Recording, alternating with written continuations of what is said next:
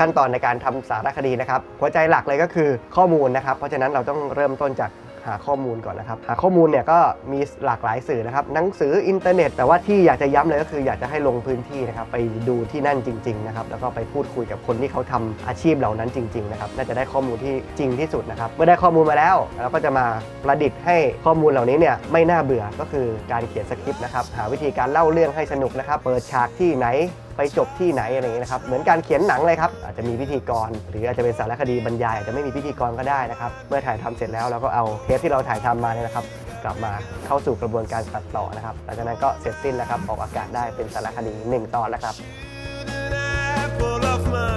แต่ผมได้ข่าวมาว่ารายการเนี่ยเคยมีแบบถูกเรื่องของฟ้องร้องด้วย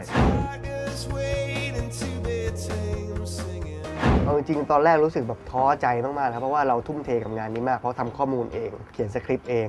แล้วเราก็เหมือนกับว่าเราตั้งใจจะทำยารักษาโรคให้กับคนยาดีๆครับอืม แต่มีคนกลุ่มหนึ่งมองว่าเขาอันนี้คือยาพิษออเราก็รู้สึกเฮ้ยทำไมเราคือเราเจตนาเราดีร้อยเปอร์เซ็นต์ไม่มีเจตนาที่ไม่ดีเลยนะครับ ก็ออกมา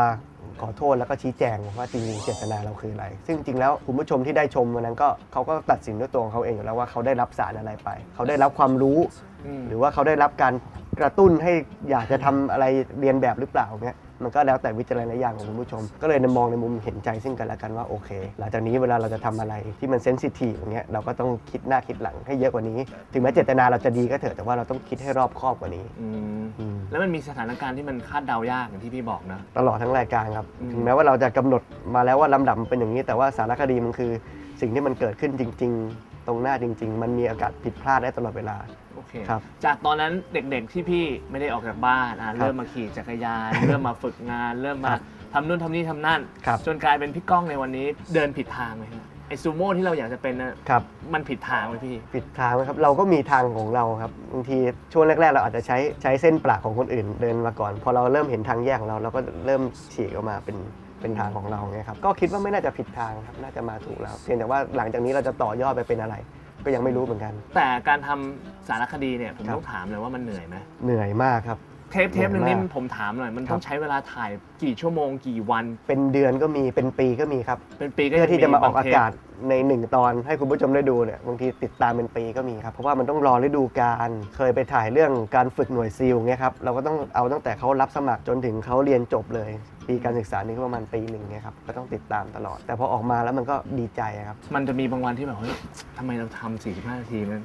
ครับ ทำไมคนอื่นเขาทำวันสองวันก็เสร็จแล้วเราทำไมเราต้องทำเป็นเดือนวะอืมมีฟิลท้ออย่างนี้บ้างไหมพี่ จริง ๆ ระยะเวลาทำงานอาจจะไม่ใช่ไม่ใช่เหตุผลที่จะมาทำให้แบบให้เหนื่อยอย่างเงี้ยครับ อืม เพราะว่ารายการแต่ละรายการเขาก็จะมีรูปแบบไม่เหมือนกันทอล์กโชว์อาจจะพูดคุยกันไม่กี่ชั่วโมงก็จะจะเสร็จสำหรับ1งตอนแล้ว แต่ของเราเราเลือกส่วนประกอบของเราอาหารจานนี้ของเราเราดันเลือกส่วนประกอบที่มันยากเองนะครับเพราะฉะนั้นมันก็ต้องหาส่วนประกอบมาให้ครบเพื่อเป็นอาหารหนึ่งจานมันก็จำเป็นนะครับที่จะต้องที่จะต้องใช้เวลาให้มากที่สุดเพื่อให้มันอร่อยที่สุด แต่มันก็ได้ผลตอบรับกลับมาครัอบย่างน้อยที่สุดได้เห็นเลยว่ากบครับ นอกลาได้รางวัลครับ พี่ก้องได้เสนอชื่อเข้าชิง ครับมันคืออมอาหารจานที่เราครับ ตั้งใจปรุงจนมันออกมาเป็นอาหารที่อร่อย ใช่ครับ ถูกต้องไหมฮะ แล้วพอเห็นคนดูมีคอมเมนต์ว่าเออเขาได้คุณค่าจากอาหารของเรานะเขาทานแล้วเขาร่างกายเขามีสุขภาพดีขึ้น ร่างกายเขาเจริญเติบโตขึ้น ลูกๆเขา ดีมีสุขภาพดีขึ้น สนุกและเขา feedback กลับมา เราก็รู้สึกเออหนึ่งปีเป็นเดือนที่เราทุ่มเทมันมันโอเคครับมันมันประสบผลสำเร็จ พอใจในชีวิตครับ การทำงานของพี่พอใจมากแค่ไหนครับตอนนี้ พอใจมากครับ ก็น่าจะให้คะแนนเต็มกับตัวเองในหมายถึงในในแง่ของความเต็มที่อืมที่เราทุ่มเทให้กับงานเลยครับ แล้วหลังจากนี้จะเดินไปฉีกไปทางไหนต่อครับ จริง ๆ อยากจะกลับมาเขียนหนังสืออีกครับ เพราะงานหนังสือเป็นงานที่ผมมีความสุขในการทำอยากทำภาพยนตร์อะไรเงี้ยครับละครเวทีอะไรเงี้ยครับก็ไม่แน่อาจวันหนึ่งอาจจะมีรายการของกบกล้องเกิดขึ้นมาก็ได้ อีกไกลครับตอนนี้ยังคิดไม่ออกอย่าคงรับที่พี่บอกว่าพี่มีไอดอลเป็นซูโม่ใครคือมไอดอลตัวจริงของกบกล้องครับ ไอดอลก็มันก็จะเข้ามาในทุกๆ ช่วงของชีวิต เริ่มจากพี่โน้ตอุดม พี่จิกประภาสชนสลานนท์พี่ต่อ ฟิโนอืม นะครับก็จะมีแรงบันดาลใจจากไอดอลหลากหลายเข้ามา แต่ไอดอลที่อยู่ตลอดกาลในชีวิตผมก็คือคุณพ่อนี่แหละครับ ไม่ได้พูดถึงในแง่ของการประสบความสำเร็จ แต่ว่าในพูดถึงในแง่ของการใช้ชีวิต การเป็นตัวอย่างที่ดี อืมการสร้างครอบครัวที่เราไม่ต้องไปมีหนี้มีสิน อืม ใครอย่างเงี้ยครับให้เราอยู่อย่างสบาย นี่คือไอดอลที่ไม่ว่าชีวิตผมจะเปลี่ยนไปวัยไหน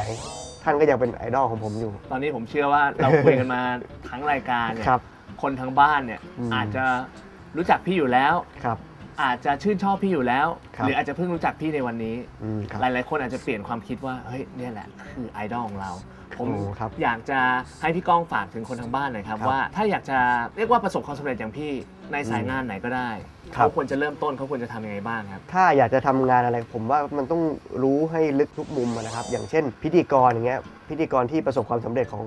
ประเทศหลาย ๆ คน ผมก็ว่าก็เชื่อว่าเริ่มจากการทำงานเบื้องหลังทั้งนั้นอย่างเงี้ยครับก็คือนอกจากเบื้องหน้าแล้วก็ต้องรู้ตั้งแต่จุดเริ่มต้นของงานแต่ละชิ้นว่าแต่ละ step ก้าวขึ้นมาเป็นยังไง เบื้องหลังเป็นยังไง ก่อนที่จะมาถึงเบื้องหน้า ทุกงานก็เช่นกันครับ รู้ให้รอบรู้ให้ลึกก็น่าจะสำเร็จได้ นี่คือไอดอลของเราในวันนี้นะครับครับกับสิงห์ไอดอลนะครับ กับพี่ก้องครับ ครับ ขอบคุณพี่ก้องครับสวัสดีครับบคุณพี่มากเลยครับพี่โจ๊กครับ และขอบคุณสิงห์คอร์ปอเรชันด้วยนะครับ ที่ทำให้เราได้รับแรงบันดาลใจในทุกๆ สัปดาห์ครับ วันนี้พวกเราสองคนลาไปพร้อมกันเลยนะฮะครับขอบคุณพี่ก้องครับขอบคุณมากและสวัสดีครับทุกคนครับขอบสวัสคุณดีครัครับ บ สวัสดีครับ สนับสนุนโดย สิงห์ Tell you I set you apart.